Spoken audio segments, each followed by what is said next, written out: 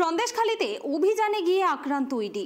দুই ইডি অফিসারের মাথায় চোট লেগেছে। পাশাপাশি ছাড় পাননি কেন্দ্রীয় বাহিনীর জওয়ানরাও। শুক্রবার সকালের এই ঘটনা নিয়ে মুখ খুললেন কলকাতা হাইকোর্টের বিচারপতি অভিজিৎ গঙ্গোপাধ্যায়। বিচারপতির প্রশ্নের মুখে খোদ রাজ্যপাল। রেশন দুর্নীতির তদন্তে গিয়ে বিপত্তি। সন্দেশখালিতে গিয়ে আক্রান্ত ইডি। রেহাই পেল না কেন্দ্রীয় বাহিনীও। ভাঙচুর করা হলো সংবাদ মাধ্যমের ক্যামেরা। ইডির গাড়ি ভাঙচুর ক্ষিপ্ত জনতার।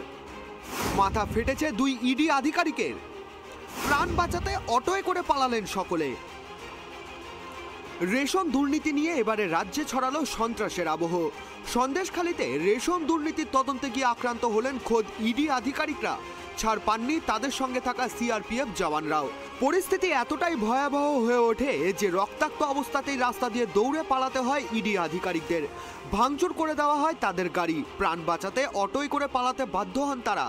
আধিকারিকদের মোবাইল, ল্যাপটপ ছিনিয়ে নেওয়া হয় বলে অভিযোগ। এছাড়াও সংবাদ মাধ্যমের ক্যামেরাও ভাঙচুর করার অভিযোগ উঠেছে। এই ঘটনায় ইতিমধ্যেই শোরগোল পড়ে গিয়েছে গোটা রাজ্যে। একে একে এই প্রসঙ্গ নিয়ে মুখ খুলেছেন নওশাদ সিদ্দিকী, অধীর রঞ্জন চৌধুরী সহ তাবর তাবর নেতা মন্ত্রীরা। ইডি আধিকারিকদের ওপর হামলার ঘটনায় ইতিমধ্যেই অমিত শাহকে চিঠি লিখেছেন বিজেপির রাজ্য সভাপতি সুকান্ত মজুমদার। সন্দেশখালী প্রসঙ্গে কড়া হুঁশিয়ারি রাজ্যপালের। এ প্রসঙ্গে মুখ খুললেন বিচারপতি গঙ্গোপাধ্যায়ও। দুজন অফিসারকে মেরেছে দুশো জনকে পাঠান। সন্দেশখালী প্রসঙ্গে সরাসরি পরামর্শ বিচারপতির। সন্দেশখালী প্রসঙ্গ নিয়ে শাহকে চিঠি সুকান্তর।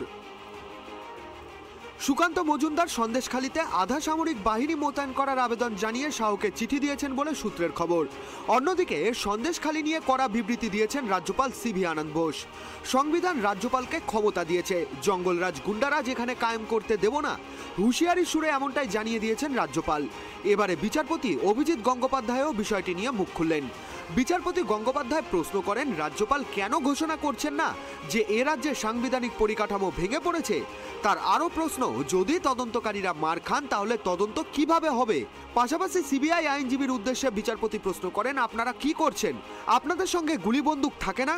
এরপরেই এই ধরনের ক্ষেত্রে আরও বড় মাপের টিম তদন্ত অভিযানে পাঠানোর নির্দেশ দিয়েছেন তিনি।